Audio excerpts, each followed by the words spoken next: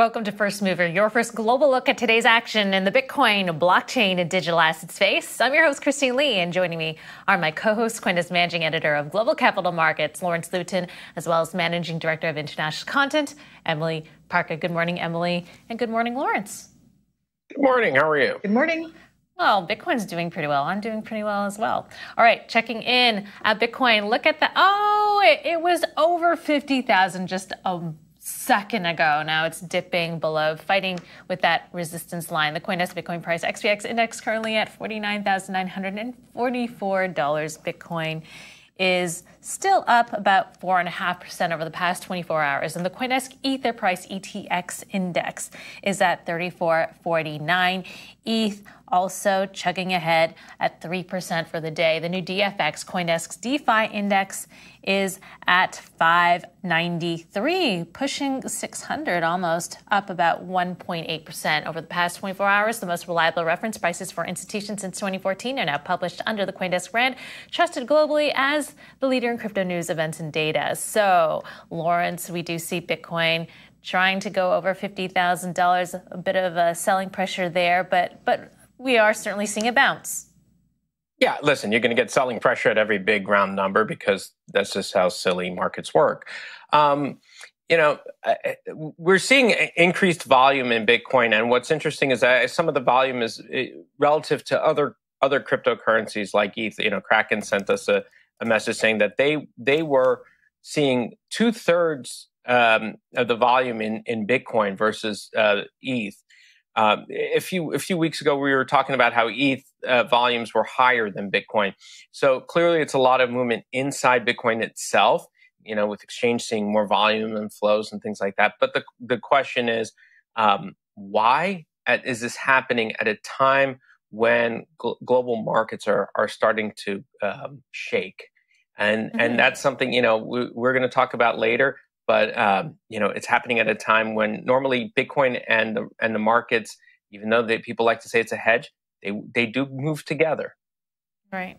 Uh, well, there and there's global regulation to deal with in the crypto space. I, will just mention quickly that you know with Facebook going down, WhatsApp, Instagram, a little instability in Web 2.0. But on in terms of regulation, we do see some movement in that realm, Emily. Right?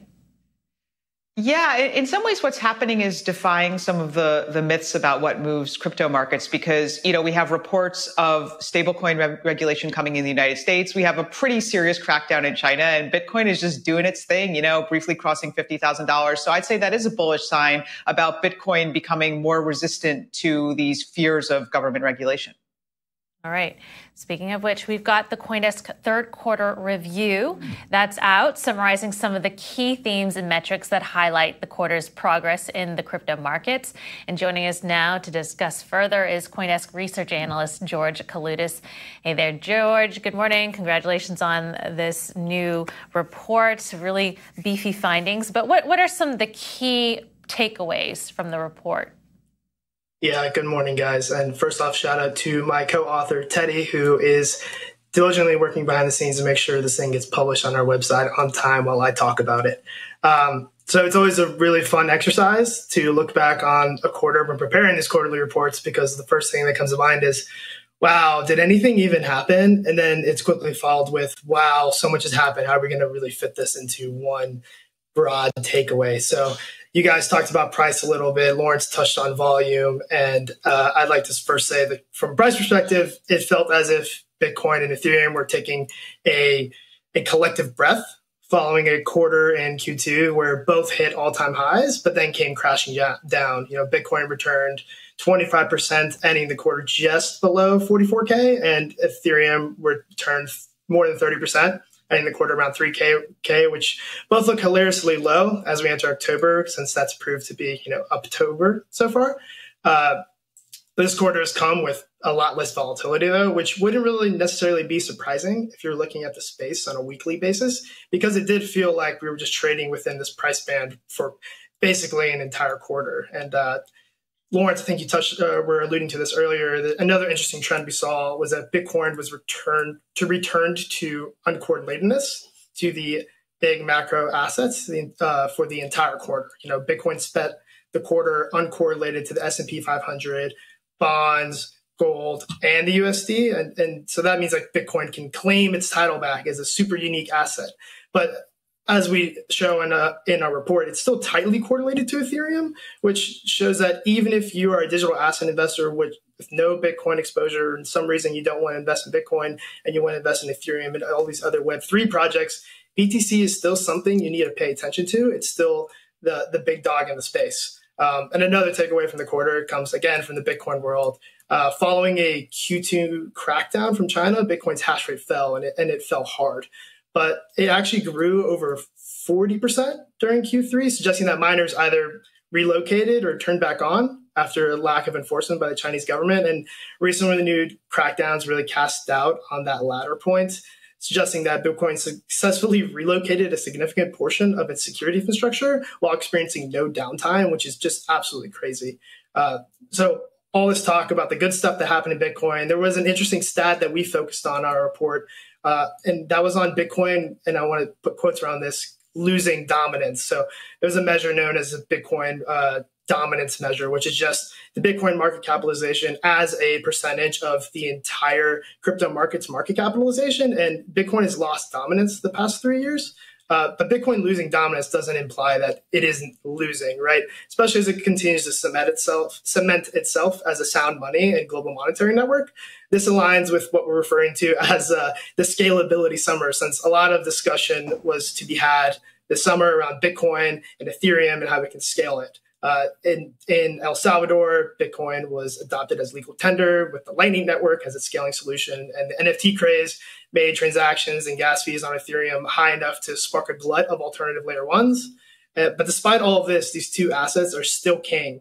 And in the world of, of, Bitcoin, waning dominance for Bitcoin more ac- accurately suggests that there is money flowing into other projects with different use cases, which is what we typically see during times of optimism in digital assets. And that's not necessarily a problem. In fact, it's probably pretty exciting for the people at Coindesk.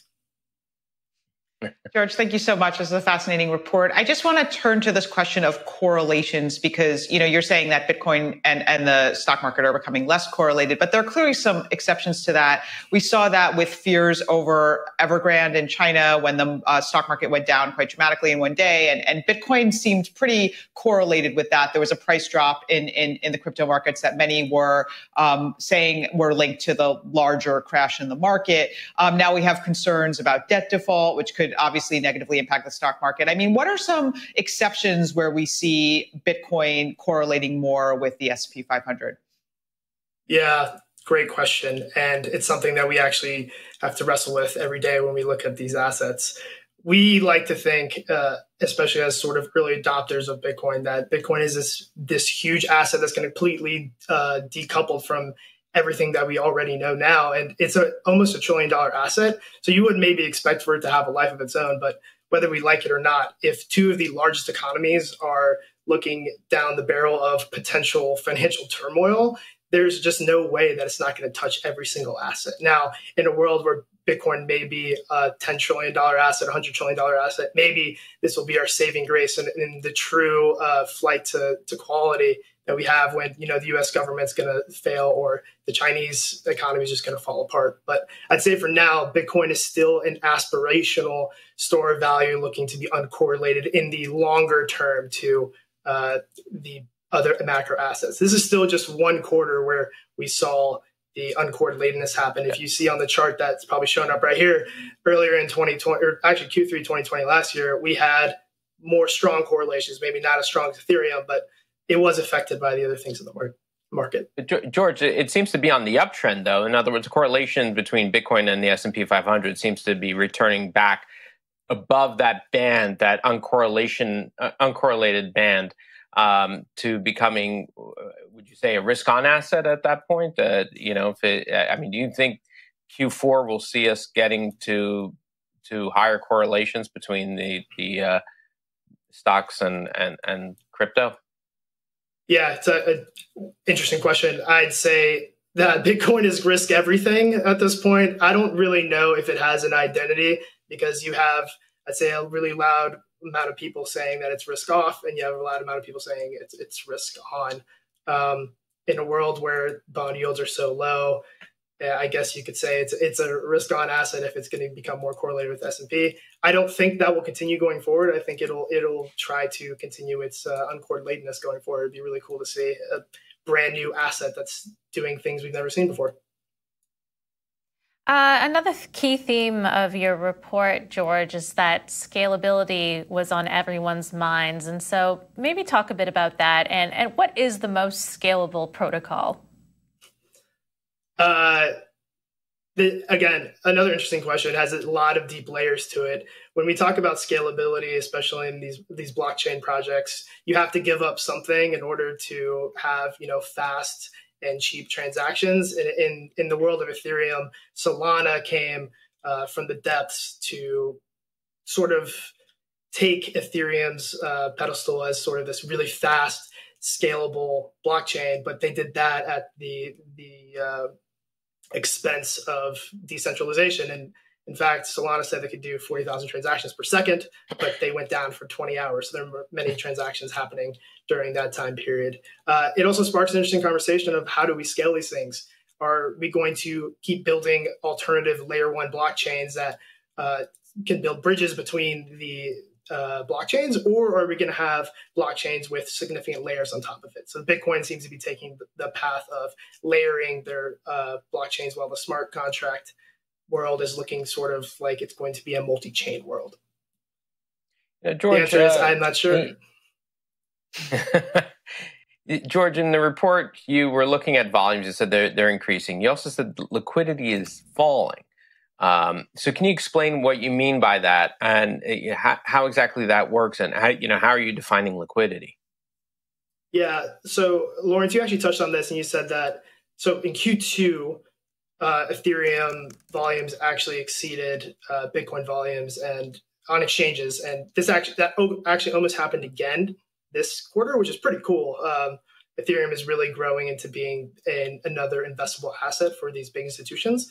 But when in our report, we we say that liquidity for Bitcoin is falling, and that's a measure of on-chain liquidity, which is a measure of the amount of quote unquote liquid supply compared to the amount of illiquid supply. And all that means is there are people who hold Bitcoin on chain and they don't move it. So that's a large percentage of the Bitcoin that's out there, and that's the illiquid supply.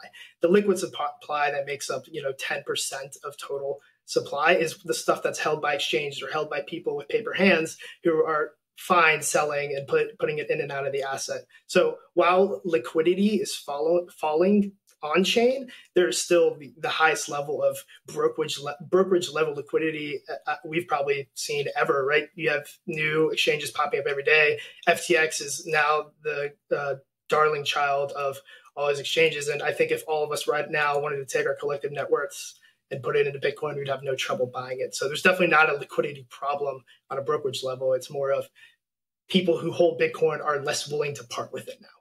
Yeah, it's a complex story, and you tackle it well, George. Thanks so much for giving us a preview. You can read the full thing, though, on Coindesk.com, Coindesk's quarterly review. Thank you, George, for coming on the show. That was Coindesk research analyst George Kaloudis. Coming up, checking in on Asia and crypto markets update with UK based crypto asset broker GlobalBlock.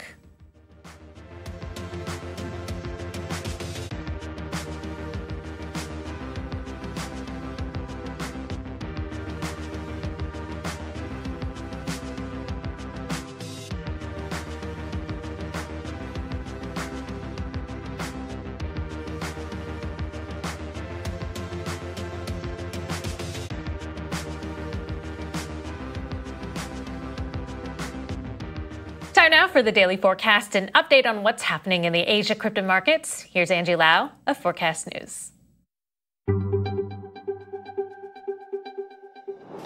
Welcome to the Daily Forecast, October 5th, 2021.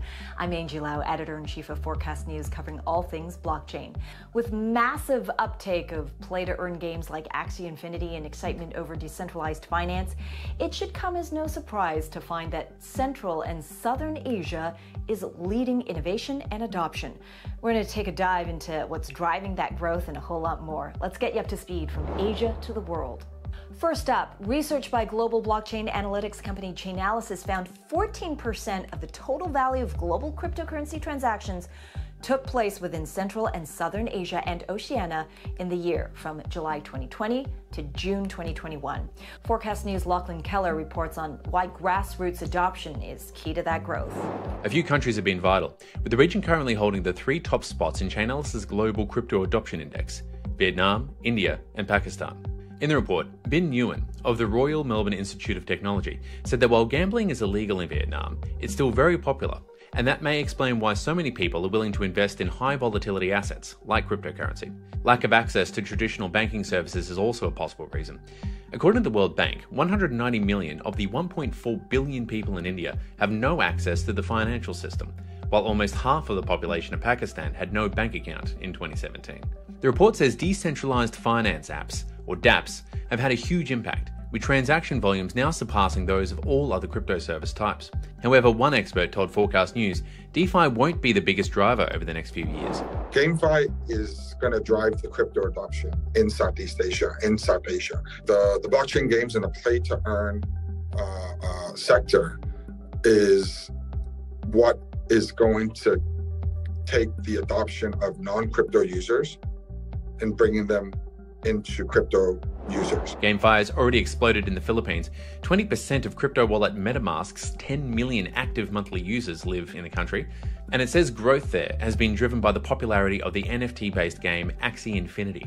For Forecast News, I'm Lachlan Keller. Meanwhile, over in South Korea, there's a national petition going on calling for crypto taxes to be put on pause, pushed back, delayed. Posted by an anonymous investor, the petition calls out Korea's finance minister, saying his decisions are inconsiderate of the market and also inconsiderate of investors. Not mincing words there. Forecast News' Danny Park reports. Korea's National Petition Board on the presidential Blue House webpage allows people to bring attention to significant matters. When a petition reaches 200,000 signatures, the government is obliged to answer. This petition asks for two things an extension of the grace period before taxation on crypto income, and fair taxation, saying the finance minister should prioritize investors and the industry. Levies on virtual asset gains are due to begin January 1st, but investors argue that date should be pushed back, citing lack of investor protection measures. Many also say it is unfair with crypto gains above 2.5 million won or about 2100 US dollars taxed, while stock capital gains are taxed from 50 million won. Hong Ki-young, professor at Incheon National University, told Forecast News that virtual assets are categorized as other income according to the International Financial Reporting Standards. However, there is little to no inherent difference between income from virtual and financial assets. Hence, the topic of tax deduction and other benefits may be considered in the future. Meanwhile, ahead of the National Assembly's annual review, Finance Minister Hong Nam-ki said he will reinforce the ministry's infrastructure on crypto income taxation to prevent tax evasion. For Forecast News, I'm Danny Park. And finally today, TikTok has jumped into the NFT market. However, it chose to go kind of old school to do so, the China based social media giant taking out a full page black and white text ad in the New York Times. Just last week, the social media platform announced that it has over 1 billion active monthly users worldwide. It's now leveraging content from some of its most popular creators to make a splash in the NFT world, with the first series from Lil Nas X set to drop on October 6th. In the ad, TikTok stated that it wants to be the platform that continues to, quote, find innovative ways to recognize and reward our creators except maybe for those uh, newspaper ads. And that's the daily forecast from our vantage point right here in Asia. For more, visit forecast.news. I'm forecast editor in chief Angie Lau. Until the next time. The Crypto Markets Update is presented by Grayscale, the world's largest digital currency asset manager. Checking in on Bitcoin, the Coindesk Bitcoin price XBX index is currently trading above 50,000 now, 50,082. Bitcoin up almost 5% over the past 24 hours. The Coindesk Ether price ETX index is at 3453. ETH is also charging ahead about just above 3% for the day. And the new DFX Coindesk DeFi index right now at 592. DeFi advancing about 1.7% over the past 24 hours. The most and joining us now to discuss the crypto markets is Grant Whitlock, head of trading at UK based crypto asset broker GlobalBlock. Hey there, Grant. So Bitcoin hey is breaching $50,000. Where do we go from here? Oh, the $50,000 question. Um, the, the recent rally, you know, since last Friday hasn't been on in, in, uh, too impressive volume. So the big thing is, can we get above this $52,500 mark, which was the recent high? Um, if we can get over that, then hopefully we're in this second bull run that lots and lots of people have been talking about. Grant, I'd actually um, I disagree with what you said. I think this rally is really impressive given some of the what's happening in the world, right? Like, for example, this massive uh, crypto crackdown from China or the extension of a crypto crackdown from China. I would say that Bitcoin's rally, in light of that, is actually rather impressive, right? Um, what do you think are the main drivers of that are bringing Bitcoin up in in sort of recent days? Uh, so what I said was the volume wasn't that impressive. The fact it's gone got up. So um, you want to see on big moves, you want to see big volume, you know, a, convin- a convincing move. Um, yeah, I mean, certainly it's, it's been a, an impressive move uh, in the price action. Personally, I thought um, we would have been a bit more correlated. Um, last Thursday, the stock markets around the world didn't have a great day and crypto was pretty flat, and then obviously a, a great move on Friday. But maybe this is the the movement, the, the second leg that we needed. I mean, COVID 2020, um, you know, March 2020, we saw all assets drop across the world, you know, from commodities, bonds, stocks, and crypto. Um, that was the what three and a half thousand dollar low, and then from that, we've we went all the way to sixty four thousand dollars. So maybe this is the um, the catalyst for the the, the second uh, last quarter run that we're hopefully going to get. So, Grant, do you think that this is? Uh, do you think that this lack of correlation? You know, this is the same question I asked George earlier. Do you think that it's temporary? Do you think that it's? Uh, um, but do you, or do you think that we're going to go back to being a risk-on asset with with the markets and and in terms of what we have now with uh, w- with prices going up and, and not being correlated with, with global equity markets? Do you think that that's sort of uh, a temporary uh, move because of, of, very specific issues of money trying to flee uh, parts of the world where uh, they're having uh, specific problems. Um, yeah, I think if you get a stock market crash on a normal given day, I think you will see a retracement in the Bitcoin price. But eventually, it's you know, the, the whole point was for it to be different, to be a, a different way of, of, you know, a digital money from the white paper. And it will have to decouple from the stock markets. Now, whether it then has an inverse relationship like gold, if, if it changes like that, um, time will tell. While we're talking about macro correlations, um, you know, one of the biggest topics in the U.S. right now are these fears of the U.S. defaulting on its debt for the first time.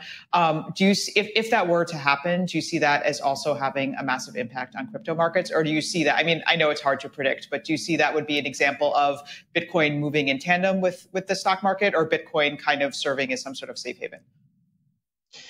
I mean, I think you'd probably get a short term shock across everything, but eventually this is, you know, a, a money, global money, a, reserve currency that's free from government intervention. I'd see it as a positive for Bitcoin. All right, uh, Grant. The US default. All right, Grant, we'll leave it there. Thanks for joining us this morning. That was GlobalBlock Head of Trading, Grant Whitlock. Coming up, free DeFi courses for all at UC Berkeley and a look at the decentralized social media platforms. Coindesk Indexes, the market standard for crypto assets since 2014. Our trusted data powers billions in publicly traded funds. Coindesk Indexes are the standard used by institutions, and they're the key for investors looking to understand and access crypto markets. As the company that launched the world's first ever Bitcoin ETF, we at Purpose chose the Coindesk Bitcoin Price Index, the XBX, to price our assets. Coindesk Indexes enabled the early adopters to build crypto investment vehicles, and they're already trusted by a new generation of global investors. Welcome back. Well, if you want to learn about DeFi, UC Berkeley is offering a massively open online course, or MOOC, as they call it, on the subject. UC Berkeley ranks third in Coindesk's top universities for blockchain of 2021. Joining us now to discuss is Professor Dawn Song, one of the course leaders. Good morning, Professor Song. Thanks for waking up bright and early for us. So, tell me a bit about what this course offers and why did Berkeley decide to offer it? Uh, yeah, this this class is the first ever uh, DeFi MOOC class, uh, which uh, teaches a broad topic, a broad spectrum of topics in decentralized finance, DeFi. Uh, it covers uh, in different topics, including the key DeFi building blocks such as stablecoins, decentralized exchange, decentralized lending, on-chain synthetics and derivatives, portfolio management, and also other more advanced topics such as uh, decentralized identity and also security and attacks and privacy as well. So, for example, DeFi attacks have still over one billion dollars uh, in 2021 alone. And uh, these are very important topics to cover. We teach the students why these attacks happen, what are the causes, and what we can do to defend against them as well. And we'll also cover uh, some of the important issues on regulation also. And the so reason for, uh, right. Uh, right. So, so the reason that we offer this class is because, so first of all, right, so Berkeley is um, also the number one US university in blockchain. And this is a really fascinating uh, area for innovation, both in technology and also for potential huge societal impact. Um, but at the same time, there's also a lot of confusion in the space. So we thought it's a, a really important effort to uh, give students the exposure to learn more about this fascinating area. I think the general feeling in DeFi is because it moves so quickly, people just need to get out there and, and kind of learn while they're doing. What do you think is the most important thing that could be taught, you know, t- taught in a course that that you can't just learn from experiencing it yourself? Hmm. So that's a very good question. So uh, another unique uh, uh, aspect of the class is that it's actually uh, a very interdisciplinary class. Uh, we actually have uh, co-instructors, including both from computer science as well as finance. And the class really provides a very systemic, systematic view of the field. When you go out, um, you know, just experience yourself. Um, there's a lot of the more in-depth uh, knowledge, for example, how the designs of the different DeFi building blocks and protocols, how they work and why they are designed one way versus another, what are the advantages and disadvantages of these de- designs. So really we are teaching the class more as an actual, you know, discipline or uh, uh, uh actually area of uh, study uh, that you can really go deep into understanding the principles and the actual techno- techniques and methodologies behind all these different applications that you may use uh, every day. So, Professor Song, how how skilled or how, how much uh, background in either programming or in finance does one have to have uh, prior to taking the course? I mean, is it recommended that they have at least uh, some programming background, some finance background? How, how exactly uh, what what sort of prerequisite classes or what sort of prerequisite would you suggest someone have prior to taking the course?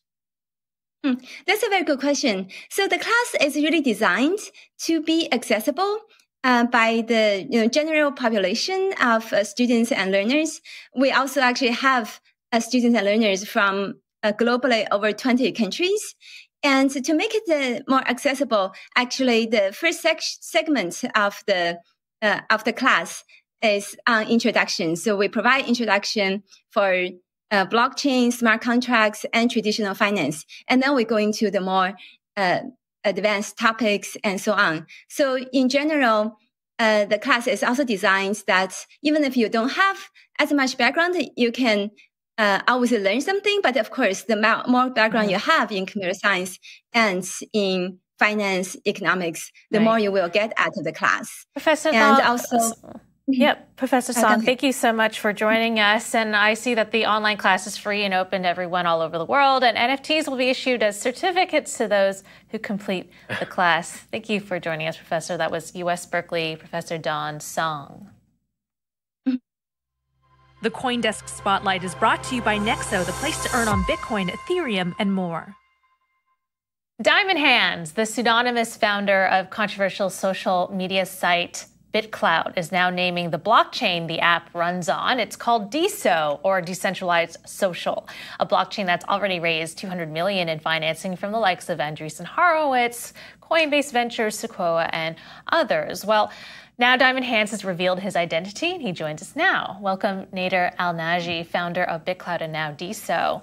So, Nader, BitClout is trying to put social media on the blockchain. The app launched in March, and users can issue their own creator coin, which other users can buy into. And the more that people like your content, the more valuable your coin will become, in theory. And it's an interesting concept, but the rollout was highly criticized. So, are you essentially rebranding BitClout as DeSo to start anew and shed the bad associations? well, thank you, Christine, for having me on the show. Uh, just as context for your viewers, um, the DeSo is the first blockchain that's custom built from the ground up to scale social applications to over 1 billion users. And it currently supports over 100 apps that have been built on it in the last six months, uh, which is just incredible and unprecedented developer traction. Uh, BitClout, the app that you're talking about, uh, is kind of a prototype app that we launched, uh, and I actually launched it pseudonymously as Diamond Hands. Um, but it's one of over 100 now, and there are a lot that are launching soon. And in fact, there was so much developer traction with so many apps being built on it so early that we actually decided to launch a formal developer fund. Um, and it's actually a $50 million fund called the Octane Fund that we're launching today. And the exciting thing about that is it presents a completely new model for building out social media. For example, just, just yesterday we saw with the Facebook outage how heavily we've come to rely on a single entity for our information needs. Um, and uh, you know, really until now, there's only been one way to build uh, social media apps, namely with central planning. So essentially, a large, large, large private company that controls the content. Uh, and we think that instead of central planning, um, you can have the content be a utility uh, rather than a privately held monopoly. And you can have thousands of apps built by thousands of developers all on an open pool of content and that's what we hope to enable with DeSo, the blockchain, and now the Octane Fund, this $50 million fund that we're announcing today. So, Diamond Hands, when you when you launched Clout, though, there were a bunch of basically fake celebrity profiles that were created without their consent. Now, is that necessarily what decentralization is? I mean, if I go on and, there were people who were going on there and saying, "Wait, why is my person why is my profile up there? Why is it being bid on and i have no control over it? Um, you know how, how, does that you know how many first of all how, the other question is how many profiles do you have like that where that were created for other people without them knowing about it without them consenting to it? Is, is that really what what's going on here? Is that really what decentralized a decentralized platform will look like well, what, what you're referring to is when BitClout launched, um, it had actually reserved profiles for the top 15,000 users from Twitter who, uh, who loaded them? onto the blockchain beforehand. And the reason for that was really to prevent squatting and impersonation of those profiles. Um, but just to go back to your broader question, um, you know, I think today we live in a world where uh, social media is on a highly, highly centralized part of a spectrum. So if you think of a spectrum of total uh, centralization on one end and total anarchy on the other, you know, we're on the total, totally centralized part of the spectrum. There's three companies that control the vast majority of the information that we see today. Uh, but just, you know, just to be very clear, we think the other end uh, of total anarchy is also untenable. There's a lot of content that actually is harmful that you do want to, um, you know, screen out and things like that. Uh, and so with DeSo, the blockchain, what we think the right model for content is, having thought about it for over two years myself, uh, is something more in the middle. Um, and so the blockchain, the DeSo blockchain contains all of the content that powers all of the apps built on top of it, uh, like BitClout. But it's up to those apps to make decisions about moderation and what uh, content should and shouldn't be shown. And to your point about reserved profiles, that was a decision that we made with the BitClout app but it doesn't apply to other apps. So, for example, a lot of apps only show profiles that have actually been claimed uh, or that are even more stringently verified and things like that. Um, and they do that because that's how they maximize usage and adoption. But you know, listen, you get somebody who's like a, a D-list celebrity like myself. Um, you know, we we don't necessarily have a big clout uh, profile on there. We don't have a, another app uh, profile on there now. But you go on and then you're like, okay, you know, I want to, if somebody might potentially squat on it, right, and you haven't reserved it, then what's my recourse?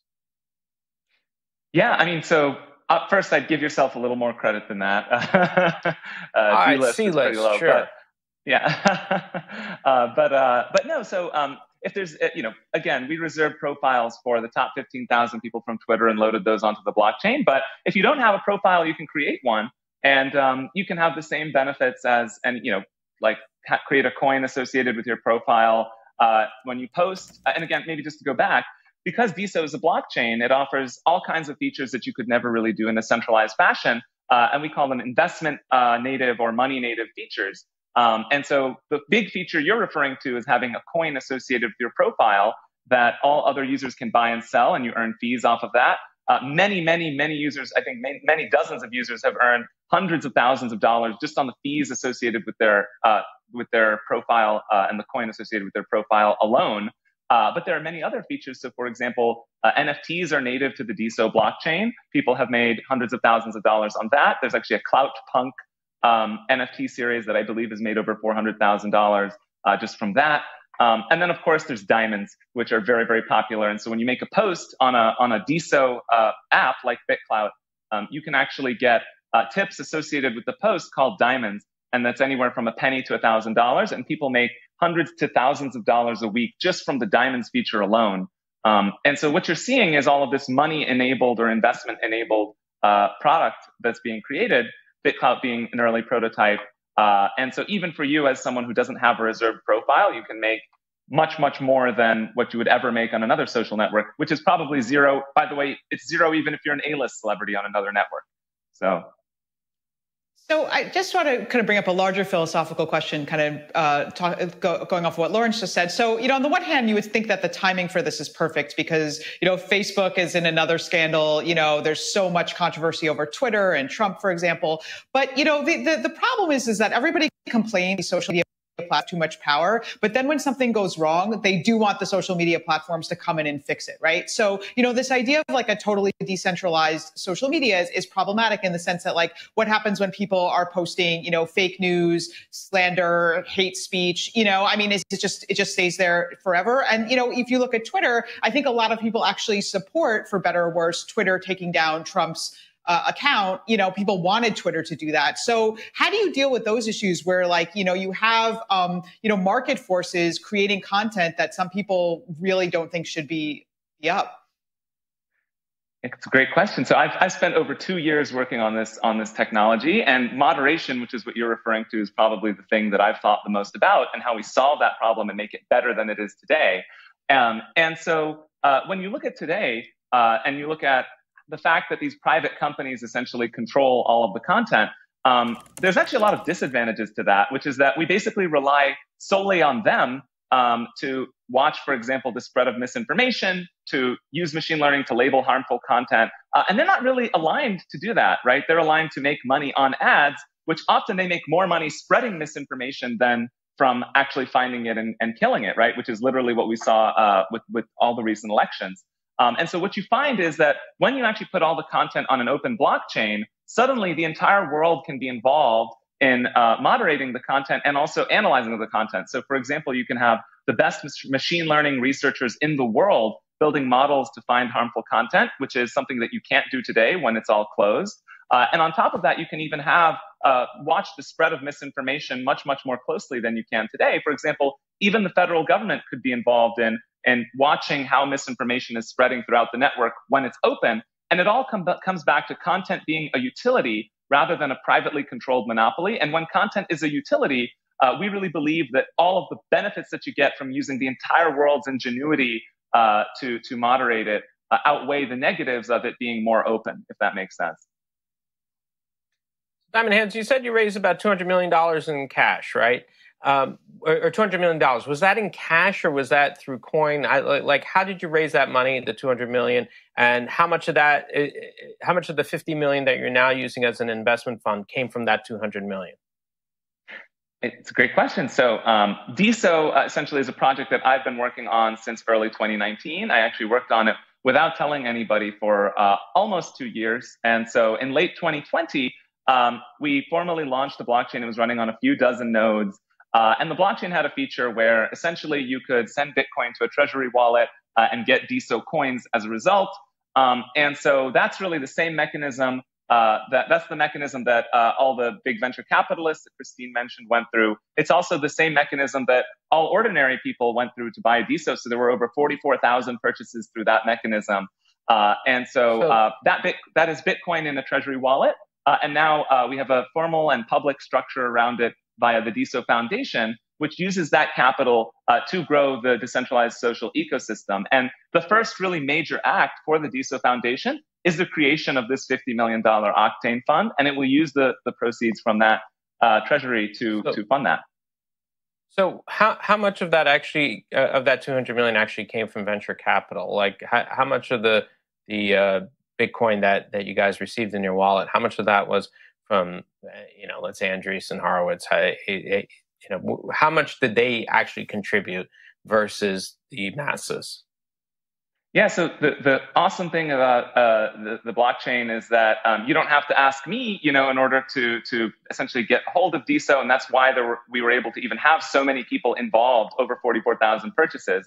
Um, that said, um, you know, I, I, did speak with a few of the people who who put money into uh, into the the protocol, uh, and so I, I, would estimate that it's maybe under 40 million, um, you know, that actually came from VCs, and the rest is actually people like uh, like you and me.